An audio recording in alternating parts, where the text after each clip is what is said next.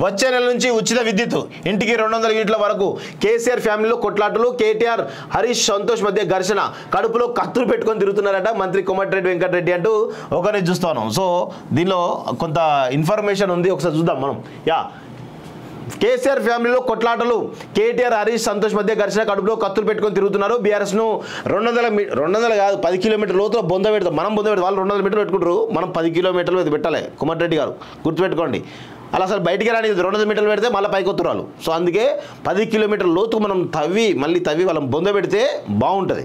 కేసీఆర్కు తల ఉన్నట్ట లేనట్ట? లేనట్టే కదా తెలిసిన విషయం మీద ఫ్రీ కరెంటుపై బిల్లులు తీసుకొని నాయకుల దగ్గరికి వెళ్ళాలన్న బీఆర్ఎస్ వ్యాఖ్యలపై స్పందిస్తూ కేటీఆర్ ముప్పై లక్షల మంది యువకులకు మూడు వేల నూట పదహారు ఇస్తామని అన్నారని ఆ ముప్పై లక్షల మంది యువకులను రెచ్చగొట్టి ఉంటే ప్రగతి భవన్తో పాటు ఫామ్ హౌస్ బద్దలు కొట్టామని మంత్రి పేర్కొన్నారు. రైతు బంధు ఇంకా వేయలేదని కేటీఆర్ అంటున్నారని ఓ మీడియా రిపోర్టర్ అడిగే ప్రశ్నకు అలా అడిగే వాళ్ళని చెప్పుతో కొట్టండి.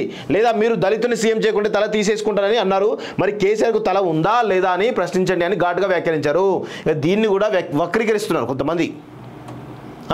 ఎవడన్నాడు కేటీఆర్ కేటీఆర్ అన్నాడు కేటీఆర్ని చెప్పుతో కొట్టమని చెప్పేసి అన్నాడు తప్ప వేరే అనలే.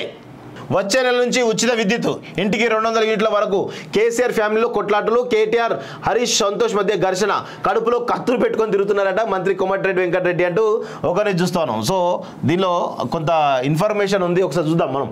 యా. కేసీఆర్ ఫ్యామిలీలో కొట్లాటలు. కేటీఆర్ హరీష్ సంతోష్ మధ్య ఘర్షణ కడుపులో కత్తులు పెట్టుకొని తిరుగుతున్నారు. బీఆర్ఎస్ను రెండు వందల మీ- రెండు వందల కాదు పది కిలోమీటర్ లోతులో బొంద పెడతాం మనం బొంద పెడతాం. వాళ్ళు రెండు వందల మీటర్లు పెట్టుకుంటారు. మనం పది కిలోమీటర్లు ఇది పెట్టాలి. కుమార్ రెడ్డి గారు గుర్తుపెట్టుకోండి. అలా అసలు బయటికి రాని రెండు వందల మీటర్లు పెడితే మళ్ళీ పైకి వత్తురాలు సో అందుకే పది కిలోమీటర్ల లోతుకు మనం తవ్వి మళ్ళీ తవ్వి వాళ్ళని బొంద పెడితే బాగుంటుంది. కేసీఆర్కు తల ఉన్నట్ట లేనట్ట? లేనట్టే కదా తెలిసిన విషయం కదా.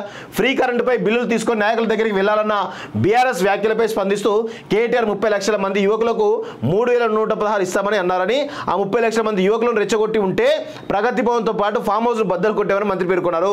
రైతు బంధు ఇంకా వేయలేదని కేటీఆర్ అంటున్నారని ఓ మీడియా రిపోర్టర్ అడిగే ప్రశ్నకు అలా అడిగే వాళ్ళని చెప్పుతో కొట్టండి. లేదా మీరు దళితుని సీఎం చేయకుంటే తల తీసేసుకుంటారని అన్నారు.